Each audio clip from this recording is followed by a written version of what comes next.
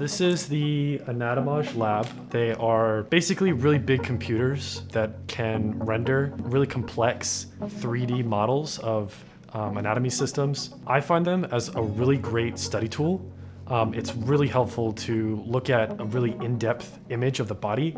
This is a phenomenal, a very full, very customizable model. You can look at like just the hand or just the ankle or just a knee or shoulder and what the internal organs look like, what the inside of the body looks like.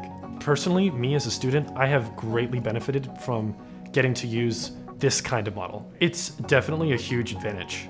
If you want an opportunity, if you reach for it and you ask for it, it will absolutely be provided to you. The staff and faculty here, your professors, are going to do their best to try and open those doors for you if you want them.